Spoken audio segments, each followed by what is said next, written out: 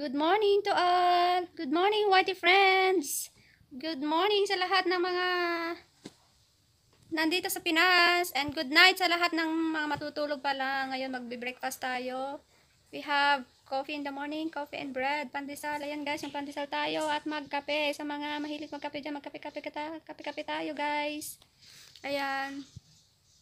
And stay always ano, stay lang tayo sa bahay guys para for safety. At sana'y matapos na itong ating ano, maka ano, hindi pa ako nakakauwi guys ng ano, Mindoro, probinsya, hindi pa nakakauwi. Ay sana naman matapos na itong ating kinaka, kinakaharap na ano, coronavirus COVID-19. Bay nakakainip na guys. Kakainip na, borong-boro na dito sa bahay. Ah, ah. Parang ako may sakit na COVID na din eh. At nakakainip na talaga. Wala nang magawa. Kung walang COVID, mag-apply na sana ako ngayon. May work na sana ako ngayon. Wala, dahil sa COVID, wala na tayong work guys. Wala na lahat. Diyos ko po. Sana na may sa 15 ay tapos na itong lockdown. Wala nang ano, wala nang may sakit na COVID. Hirap eh. Pakahirap guys. Ayan guys, mag-ano na nga lang tayo. Magkape tayo guys, tara. Kape tayo.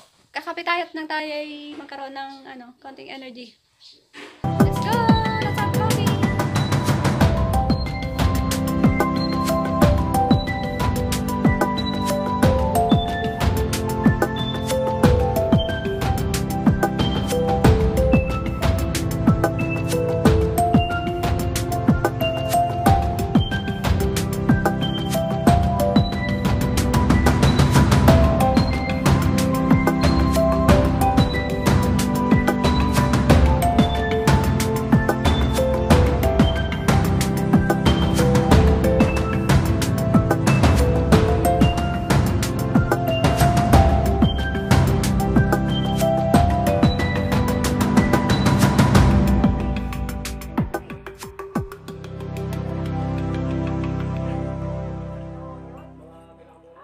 shopping eh.